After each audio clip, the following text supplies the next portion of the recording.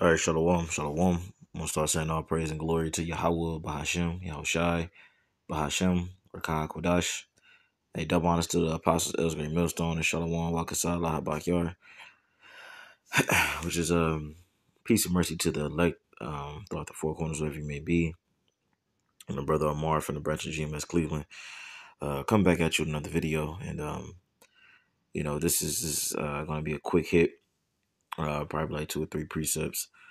And um, it's going to be centered around uh, Sirach 20 and verse 30 and 31. And it reads, it says, uh, wisdom that is hid and treasure that is hoarded up, what profit is in them both? Right? Now, it's a question being posed, man, because wisdom, we all know, um, or we don't all know, but the scriptures tell you that wisdom uh, has, has her part in, in all things. Um, uh, but in particular, we're, we're just talking about this wisdom. All right. It is it's, it's, it's necessary that this wisdom uh, gets brought out you know, on, on, on every platform if possible, you know what I'm saying? So it can reach what the elect, right? But we understand that um, it's going to be on particular platforms that the Lord has already uh, set up through the spirit and power of the Lord. Mainly brothers use, uh, you know, YouTube, uh, you know, Rumble. Some brothers have uh, BitChute accounts and, you know, other, uh, you know, platforms that they use. Hell, some brothers even use social media to get the word out. But nonetheless, man, uh, we're not supposed to hide this, uh, this, uh, this, this, this wisdom. And actually, I'm gonna get that parable as well about the talent. Um, so bringing it back, it says, "Wisdom that is hid and treasure that is hoarded up, what profit is in them both?" Right? It says, uh, "Better is he that hideth his folly than a man that hideth his wisdom." Man, yeah. So it's, it's better that you hide your folly uh, than you hide you hide your wisdom, man. Because if you have wisdom, I mean, um, especially you have this wisdom, then you can uh, make certain circumstances better, not only in your life but uh, you, you know the people that surround you in the world in general. Because that's that that is the we're gonna we're gonna use this wisdom, knowledge, understanding, which is scriptures, uh, to make the world uh, a, a much better place in the kingdom of heaven. Um, you know, in particular for the nation of Israel, but even for the, uh, the other heathens outside of Esau, because Esau that that nigga ain't getting no, um, he ain't getting no type of um, you know, um, how can I put it, man? you know, he he basically gonna catch uh, all hell in the kingdom, man. Especially um, uh, after when the, thousand years is up, he gonna get burnt. But nonetheless, uh, the world will be a better place using this wisdom. Not to understand it, even for uh, you other he- heathens, you know, Moab, Moabites, Ammonites, uh, Japhites, so forth and so on.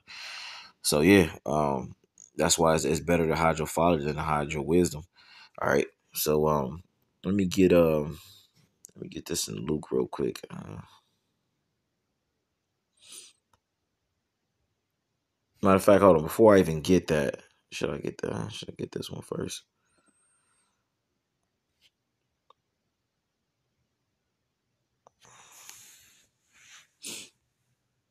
Let's. Uh, should say testify my savior openly. Yep. Second uh second Ezra two and uh uh 35 be ready to the reward of the kingdom for the everlasting light shall shine upon you forevermore flee the shadow of this world receive the joyfulness of your glory i testify my savior openly all right yeah so you're supposed to testify uh yahweh shemion shah and this knowledge that he that he's given it to you supposed to testify openly that's important that's the importance of uh doing videos doing sit downs and, and and more importantly uh being on them highways and byways man all right that's what you're saying isaiah 30 and 20 uh, I'm saying that the Lord, um, that that teacher's not going to be removed into a corner anymore. You know, roughly, you know, roughly paraphrasing it. All right, but the eye shall see thy teacher. All right, so yeah, man, we uh, we we you know we're, you know, we're we're supposed to proclaim this truth, man. All right, on all levels, man. All right, then of course you know you you you know you you be in Clark Kent mode at, at times like on your job, and you, know might might be uh you know get bored in a plane or you know family event or whatever you know but you know that's that's uh, I come with um you know being seasoned as well um so yeah let me get this man mm, just want to make sure like you know you, you you're not hiding your talent believe it's this chapter or it might be uh 19.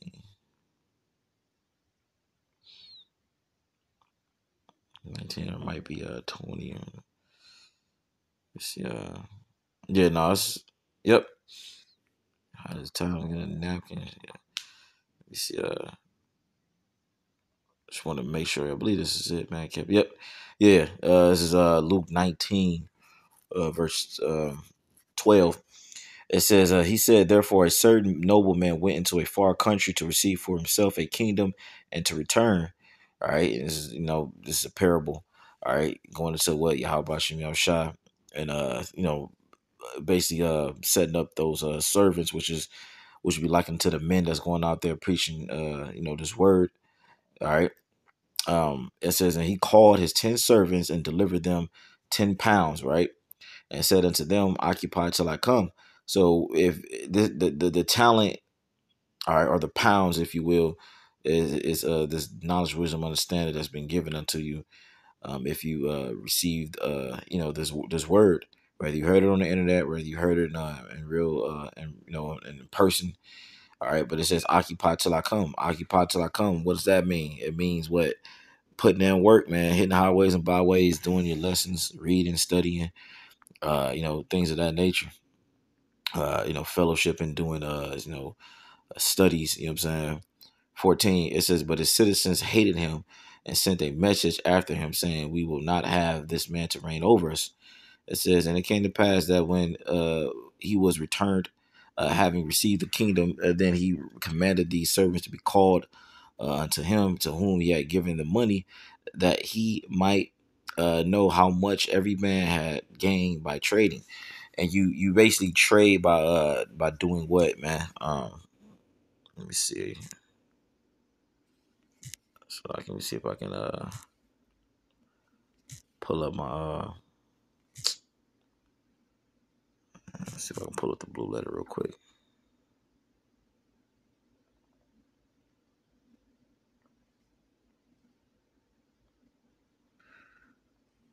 Yeah, let's see real quick. You you trade by uh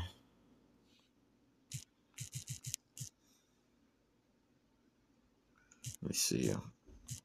You trade by uh going out uh, like basically uh, preaching a word, you know what I'm saying? Like say somebody come up to you and then um you know what I'm saying, or you at the job or whatever. It literally can happen anywhere, um, at any time. And then uh you know, you basically exchanging uh this wisdom with them. They might have questions or you might have overheard them talking about something and they you know they seem sincere and then you know you get to breaking things down to them that's that's trading. That's the scripture's talking about um business. I thought i was gonna say something else man. Let me see.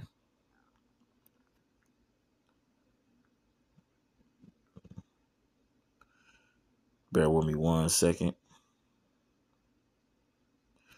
well it says uh to be engaged in business Let's see Thought I had thought I had more which column on it, man. More more heat on that. Just ground reason because of this reason on this account. Nah. And I know sometimes too Esau trade uh he, he changes the definitions. Occupy anything carrying business, carrying business on banker or trade. Busy myself. But, and what just says uh to occupy, all right. So um going back to it, the point.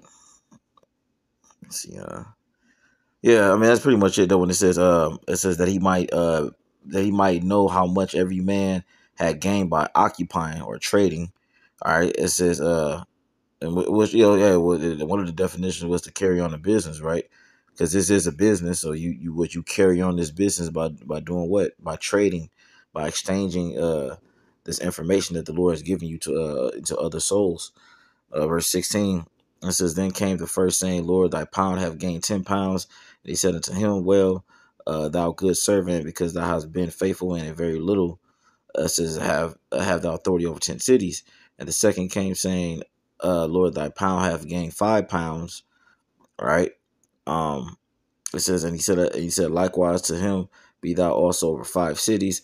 And another came saying, Lord, behold, there is here is thy pound which I have kept laid kept laid in a napkin, man. Right, so he hid it, man. And I just read in Sirach 20, verse 30 and 31, I was better than man hide, hide his folly than his wisdom. All right. It, it says, and he said unto him, out of thine own mouth will I judge thee, thou wicked servant. Thou knewest that I was an austere man. It says, uh, taking up that I, I laid not down, and, and reaping uh, that I did not sow. Wherefore then gavest uh, not thou my money into the bank, uh, that my that at my coming I might have required uh, my own with usury. Yeah, right, man. So you, know you you you know good damn well, man. You were supposed to. You the Lord gave you this wisdom. You're supposed to do something with it. He didn't just give it to you so you can be this you know this this deep woke nigga at the party. You know what I'm saying, or you know wherever the hell you at, or trying to get bitches with the with these uh, with this wisdom. The Lord gave this wisdom so you can flip it, man. All right, you can get more. Uh, um, you know, um, you know, basically, uh, you know, you can bring more comers into the faith, so to speak, because the Lord is going to bring in who He wants to bring in. We, he just uses us as the vessel to do so. It says in verse 24, it says, he said to them uh, that stood by, take from him the pound and give to him the, uh, and give it to him uh, that have 10 pounds, man. Right. So the one that was on fire, that brother that's in the camp or whatever, he, he, that brother, the brother, the fiery brothers or the brothers that's on fire, they're going to take your portion that you have and they're going to give it to, uh, the Lord going to give it to the brothers that's on fire, man, because they're going to do something with it, man. All right. You know what I'm saying? And they said unto him, Lord, uh, he have 10 pounds. It says, and they said unto him, Lord, he have 10 pounds. It says, uh, for I say unto you that every, unto you, Slakia, for I say unto you that unto everyone uh, which have shall be given, and from him that have not, even that he has shall be taken away from him. You know what I'm saying? So yeah, you want to make sure that uh, you know you're doing something with this um, with this wisdom, man. Because as I say in the world, if you don't lose it, you if you don't use it, you lose it, and that is a true saying. Um, uh, uh, depending on um, you know the situation, man. Like for instance, if you're a fighter and you don't train, uh, you know you, sh- you should be sparring. And you know you got heavier days that you spar, uh, heavier, and then uh, uh, harder, should I say? And you got lighter uh, sparring sessions. Um, but nonetheless, man, you should be actively training and sparring. Uh, you know, doing things that working on your craft because uh, it is a perishable uh, skill. You know what I'm saying? Just like anything else, man. All right, you got to you got to be active with whatever it is you're doing. All right, same thing with this. You know, if you don't if you don't you know go over particular breakdowns in scriptures, uh, hell, you can't forget it. You know what I'm saying? It's just it's just the truth. All right, let me see. Um, uh, let's see. Pound. This is an austere. I know I ain't passed. Yep, here we go. Just want to look up that word austere austere, austere, austeriteros. Strong's G, 840. Austeros. Austeros. Of mind and manners, harsh, rough, rigid, man. Right, so it's, it's severe. The Lord was a rough man. You know what I'm saying? He was a, uh, you know, he was a, uh, you know, he was rough. you know what I'm saying? The Lord didn't fuck around, man. So we just got to be mindful. I remember Pastor did that video. Few brothers did response. Uh, we we working for the um, for the kingdom for the king of the universe, man. And uh, you know, he, he wants us on those shifts. You know what I'm saying? Doing what we gotta do. Um what's it on this, man? That's pretty much it, man. Let me uh get these last few uh last few uh precepts. Which that's just spirit. I want I ain't gonna get this one first, but hey. Matthew 10 and uh 27. It says, What I tell you in darkness, that speak ye in the light, and what ye hear in the ear, that speak ye upon the housetops, man. Let me see what the uh NLT uh, NLT version says. So it all it all goes into what proclaiming this word, man, proclaiming uh, this truth, man. All right, this is uh, same same verse, Matthew ten and uh, twenty seven. It says, uh, it says, uh, What I tell you now in darkness, uh, shout abroad when daybreak comes. What I whisper in your ear, shout from the housetops for all to hear. Let me see one more version says. NIV. It's verse 27, saying uh, Matthew 10 and 27. It says, What I tell you in dark, speak in the daylight. What uh, what is what is whis- whispered in your ear, proclaim from the roofs, man. Yeah, so basically you just want to make sure you're proclaiming this uh this truth, man. Know I'm saying on whatever platform the Lord gave you. Hey, some you might live in an area, a third world country, you and somehow, some way, the Lord, you know, uh, woke you up, man. Right, and you might not have access to internet all the time, but yeah, you might hey, preach the word, man. You know, got brothers over there in the Philippines, and you know they all brothers are doing the work, man. Uh, last scripture, man, uh, Matthew five and uh, fourteen. You are the light of the light of the world. A city that is set on a hill cannot be hid, right? Because when you see the brothers and you know the believers, uh, the rest of the believers, man, you know we we're that light and that's shining forth in this dark place, man. All right. It says neither do men light a candle, and, that, and the reason why is it ain't because you know you might be dressed nice. No, it's because this wisdom, knowledge, understanding the Lord has given you. Verse 15, neither do men light a candle and put it under a bushel, but on a candlestick, and, is, and it giveth the light unto all that are in the house. It says, Let your light so shine before men that they may uh, see your good works and glorify your Father which is in heaven, man.